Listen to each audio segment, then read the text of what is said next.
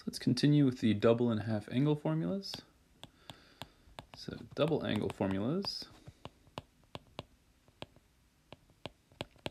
And the way we do these is we're going to do just these same uh, addition subtraction formulas. We're going to do the addition part. Um, so just the summation formulas,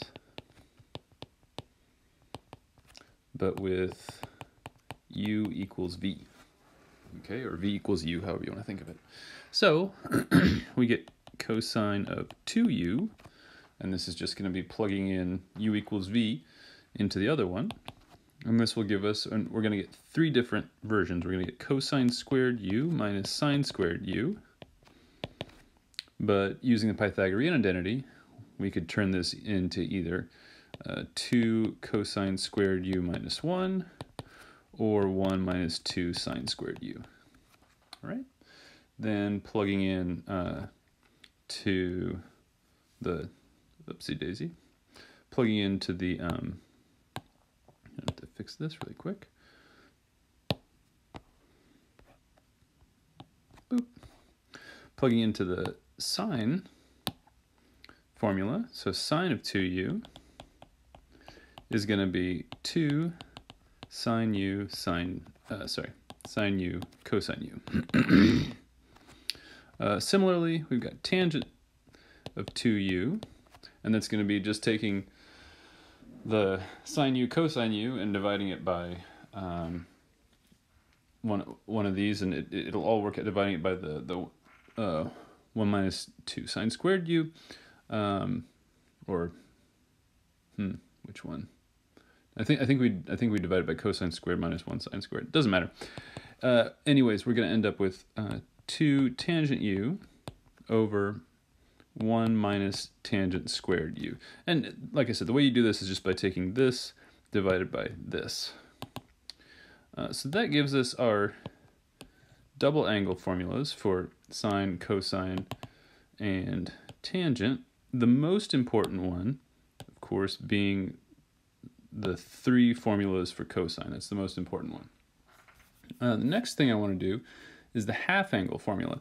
And the reason that, that uh, cosine one is so important is we can use the cosine formula because we're relating the cosine of u to the cosine of 2u, and we're relating the sine of u to the sine of to the cosine of 2u. Using that, I can derive the half angle formulas. And the half angle formulas are going to just use uh, right sine of u or cosine of u with cosine of 2u. Okay, so using that double angle formula. And the way we're going to do this is, of course, uh, just let's solve this for cosine of u. So this, set it equal to that, and solve for cosine of u. And what we're going to end up with is cosine of u over 2, whoops, is equal to the square root of 1 plus cosine u all over 2. We're going to get the sine of u over 2 is equal to the square root of 1 minus cosine u over 2. And finally, the last one is tangent of u over 2.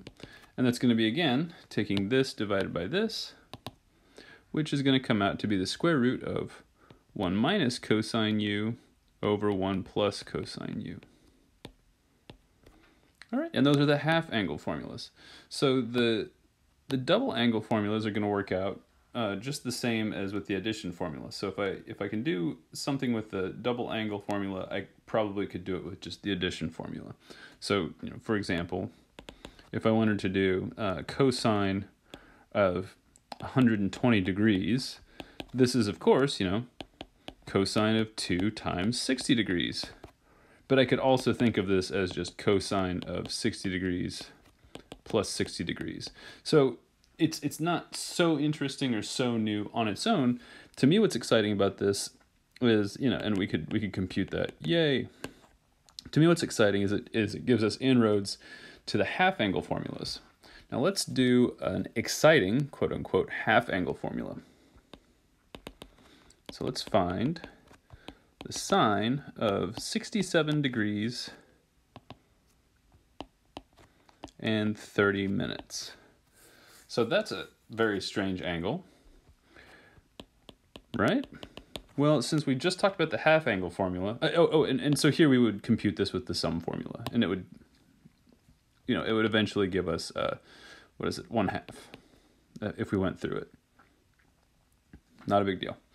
Um, but uh, this now is going to be a little bit different. So I want us to, it, this is half of some angle. So what is that half of? It's going to be half of 135 degrees. So sine of 135 degrees.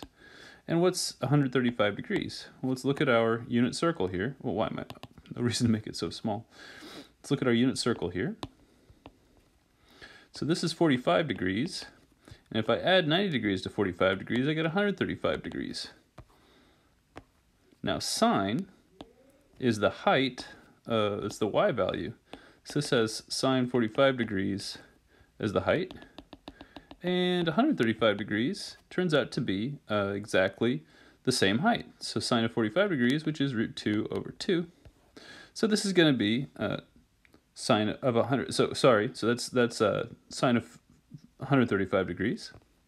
Now cosine of 135 degrees well, cosine of 45 degrees, this is the x value here, is again square root of 2 over 2, but cosine of 135 degrees, it's, it's the same thing, but the mirror image, right? So this is going to be negative square root of 2 over 2 is cosine of 135 degrees. Okay? That got a little bit squished up. So now I know the sine and cosine of 135 degrees, and what I want to compute here is the sine of 135 degrees divided by 2. Well, using the half angle formula, this is equal to the square root of uh, 1 minus cosine of 135 degrees, all divided by 2. So what is cosine of 135 degrees? Well, we just computed it. It's negative root 2 over 2.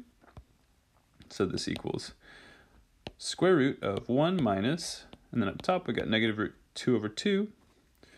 Sorry, so 1 minus negative root 2 over 2, all divided by 2. And this becomes 1 plus root 2 over 2. Um, so I'm going to write this as, I'll just go one step at a time, 1 plus root 2 over 2 over 2. And keep going. Uh, and, you know, honestly, you can stop here if you want. I'll, I'll keep going just so that we get a prettier answer. But this I could write as 2 plus root 2 over 4. And then I could, of course, write this as the square root of 2 plus the square root of 2. So this, this is the square root of a square root under there, all divided by 2. Okay, and that's an example of using the half angle formula. Uh, the last thing that I want to mention is the cofunction formulas. And the cofunction formulas uh, we can get from the addition subtraction formulas, but the cofunction formulas are going to be things like, so cofunction formulas. These are going to be things like, uh, we've got, um, let's just do a simple one. Pardon me. We've got sine of x is equal to cosine of pi over 2 minus x. All right, and, and let's prove that really quick. So let's consider cosine of pi over 2 minus x. Well, let's, let's use the uh, sum and difference formulas. So remember, minus here means plus here. So this is going to be cosine pi over 2, uh, cosine x plus sine pi over 2 sine x. But cosine pi over 2, that's the x value of 90 degrees, that's 0. Sine pi over 2, that's the y value of 90 degrees, that's 1. So this is 0 times cosine x plus 1 times sine x, which is, of course, just sine x. So the cofunction form is there are a whole bunch of these, and basically they come from taking your favorite angle, um, sorry, your, your favorite trig function, and putting in uh, either pi over 2 minus x or x minus pi over 2 or something like that, because pi over 2 turns sine and cosine into either 1 or 0 respectively.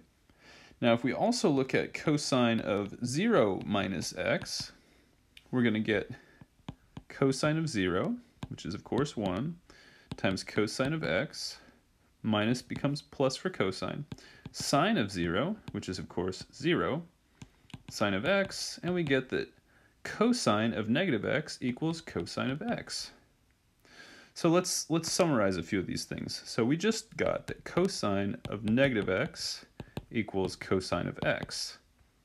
Similarly, we can get sine of negative x equals negative sine of x, and tangent of negative x equals negative tangent of x.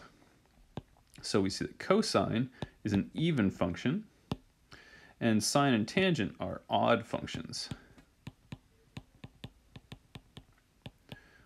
And I think that's a good place to stop.